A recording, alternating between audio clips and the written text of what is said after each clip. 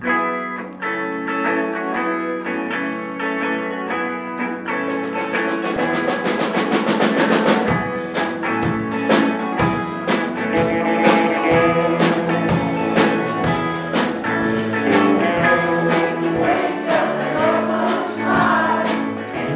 we gaan beginnen. Welkom op deze mooie middag. Wat een mensen, wat een mensen. Dat hadden we niet gedacht dat we zoveel mensen in de zaal zouden hebben. Geweldig. Ehm, op ons mini-symposium over de toekomst van de ouderenzorg. Ik geef het woord aan Ralf Kans. natuurlijk ook, zoals dat op een jubileum passend is, kijk je ook wel even terug.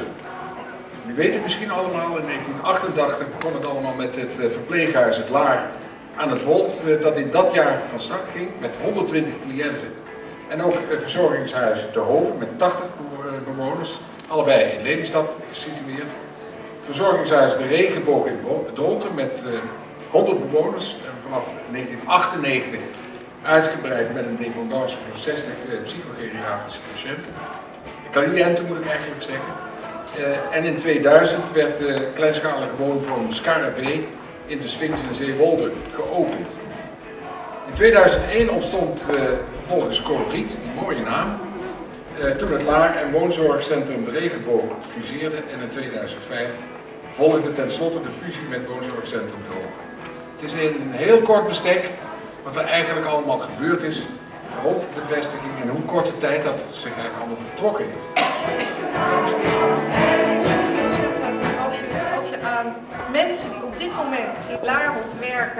Die eh, al 25 jaar eh, werken, vraagt: wat is er nou anders nu dan toen jij begon?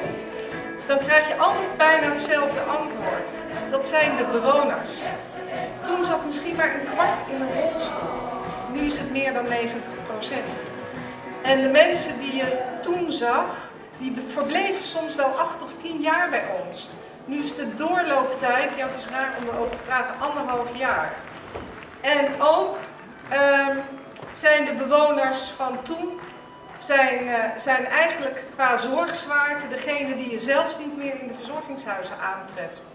Dus er zijn minder mensen in instellingen gaan wonen, alleen de zorgzwaarte is enorm toegenomen.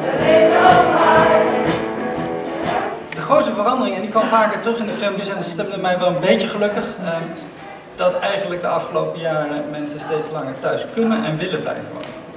Dat is niet iets, in ieder geval niet iets wat wij vanuit Den Haag hebben begrepen.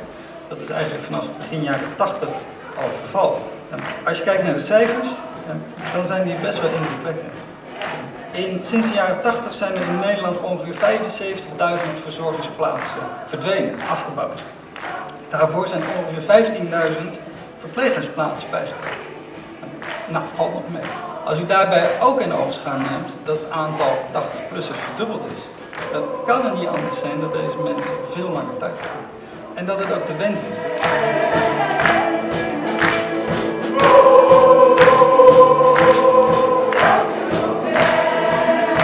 Vanuit kleinschalig wonen wonen zes mensen bij elkaar.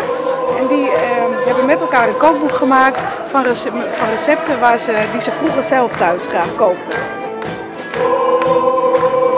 Ik heb ehm, voor u een ballendeken en die gebruiken wij bewoners om ze rustig te laten slapen.